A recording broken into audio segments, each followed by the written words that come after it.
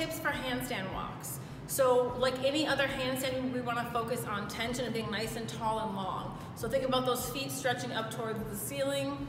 Um, think about your spine being long. So a lot of times people wanna look forward where they're going, which means they crank their neck way far back and their neck is at like at this angle. You wanna think about the crown of your head is still reaching towards the floor. You're glancing up just with your eyes. So trying not to use your whole head to look, but just using your eyes.